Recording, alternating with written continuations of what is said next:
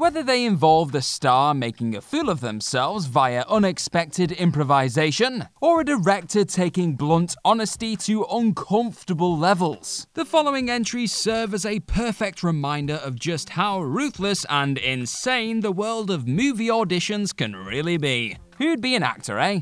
I'm Gareth from WhatCulture.com, and here are 8 movie auditions you would not believe. Number 8. Ryan Gosling was once cut off by a casting director's phone. In a hilarious art imitating life moment, Ryan Gosling found himself cruelly disrupted by a casting director midway through an undisclosed audition. The story goes that Gosling was completely pouring his heart and soul into his work, and had put on a convincing show of the part in question. But when the call came, this casting director could not wait for his brilliance to finish. A couple of years later, Emma Stone's character in Damien Chazelle's La La Land had to work her way through an audition with the same sequence of events taking place on screen. You get the feeling Gosling could have had an input in the scene, as the two stories match up too closely to be a coincidence. The joke looks to be on said casting director though, as that rude interruption of Gosling may have cost them the chance of discovering one of the finest actors of his generation.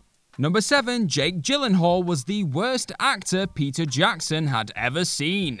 Any actor will tell you that one of the key elements in ensuring any audition goes well is preparation. If you school yourself on what is required of the role in question, then you stand a good chance of being considered should the meeting go well. Nobody highlights that need for prep more than Jake Gyllenhaal in his audition for the part of Frodo in the iconic Lord of the Rings trilogy. Gyllenhaal had entered the room unaware that he was supposed to be equipped with an English accent for the part. He tried to wing it and stumbled through the reading before Peter Jackson apparently exclaimed, You are the worst actor I have ever seen. It was a hard lesson to learn. But Gyllenhaal has gone on to star in multiple mega movies over the years. Sadly, we still haven't got the chance to see him with pointed ears and gigantic hairy feet, though. Yet.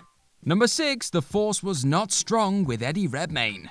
Even when an actor has scaled the heights of the industry, even nabbing a Best Actor Academy Award, you can still be asked to read for a role before you are formally offered it. Eddie Redmayne found himself in this exact predicament, fresh off of an Oscar win for his turn as Stephen Hawking in The Theory of Everything. Kylo Ren in the new Star Wars adventure The Force Awakens was the role up for grabs, and Redmayne knew how big an opportunity this really was, to his detriment.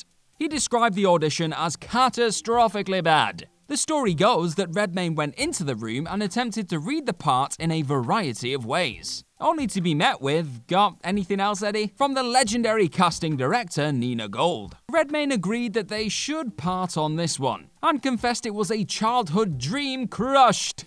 He then went on to lead the new J.K. Rowling excursion into the pre Harry Potter wizarding world, Fantastic Beasts while the role of Kylo Ren went to the expertly cast Adam Driver. Number 5. January Jones Poleless Pole Dance. It's hard enough to perform something off the cuff in an audition, without being asked to demonstrate the action without a pivotal piece of equipment there to assist you. You wouldn't ask a chef to show you how to cook a steak without the meat, would you? This is the situation that January Jones found herself in early in her career. She had been brought into the room for the now cherished romantic comedy Coyote Ugly, Large portions of the film see the cast of ladies dancing and teasing their male punters, suspended high above on the bar and tables in the club. Jones, with this in mind, was asked to display what talent she had for performing to a crowd in the form of a pole dance, without a pole. Jones recounted the situation as awful and was criticized for having no rhythm by the producer. What a dick. She considered packing it in there and then, but showed resilience and belief in herself by sticking at it, and now holds credits in the X Men franchise and the TV series Mad Men. She done good. Number 4. Daniel Radcliffe should not gossip.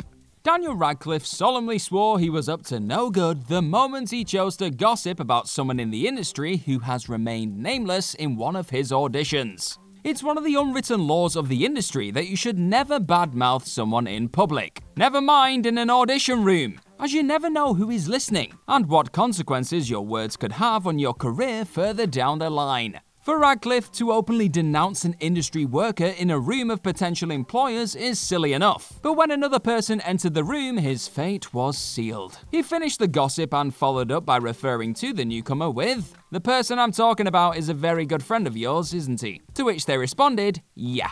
Yep, that'll do it. Radcliffe had to work through the awkwardness in the room and only had himself to blame, to be honest. All power to him for owning up to the mistake, but it's a lesson that someone who has been in the industry since he was 11 should have probably learned by now. Number 3. Gary Oldman's apparent Man on the Moon audition. You've likely heard many a tale about actors doing whatever it takes to get themselves in the all important room for a tantalizing audition. And then there's what happened when Gary Oldman decided he wanted to audition for the part of Andy Kaufman in Man on the Moon. According to the introduction written by Larry Karaszewski for the film's screenplay, the legendary British actor pestered the feature's casting director, one of its stars, Danny DeVito, and director Milos Forman over the part, claiming to be the best actor for for the job. Not wanting to offend the well known star, Oldman was sent a script, only to complain that his agent never passed it on to him. The pages were then sent directly to his home, which then eventually resulted in the team receiving a peculiar 30 minute tape of someone in makeup that looked unlike Oldman or Kaufman just rambling on. In the end, it was revealed that this Oldman was actually an imposter, struggling to break into the acting industry, with the legit Oldman actually being completely unaware of the project. God loves a trier though, right? Number 2, Meryl Streep isn't pretty enough for a giant ape. If this were to happen today, you better believe the casting director in question would be up for the chop. Not because Meryl Streep is now arguably the greatest actor on the planet, which she probably is, more because the decision to not cast an actor because they aren't, and I quote, pretty enough, is about as superficial and just gross as it gets. The legendary Streep, 27 at the time, lived this nightmare and then some when she was labelled in Italian as ugly by Dino De Laurentiis, who was casting a remake of King Kong. Unfortunately for De Laurentiis, he wasn't aware of Streep's fluidity in the language, and she called him out for the comments before leaving with You're just one opinion in a sea of thousands, and I'm off to find a kinda tide. De Laurentiis' King Kong was a total flop. And the grace that Streep handled the situation with further reinforces her untouchable legacy as an actor and an all round badass. Number 1, Bill Nighy looks good in heels.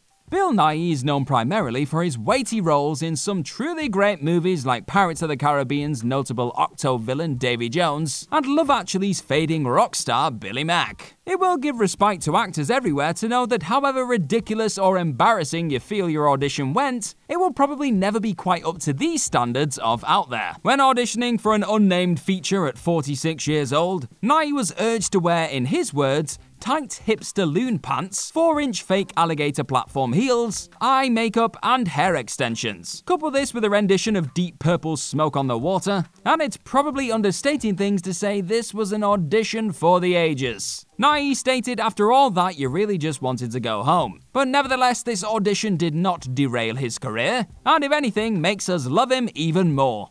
And that's our list. Know of any other movie auditions people would not believe? Let us know all about them in the comments section right down below, and do not forget to like, share, and click on that subscribe button. Also, be sure to head on over to whatculture.com and find some more incredible articles just like the one this video right here is based on. I've been Gareth from whatculture.com, thank you very much for watching, and I'm sure I'll see you very, very soon. Bye bye.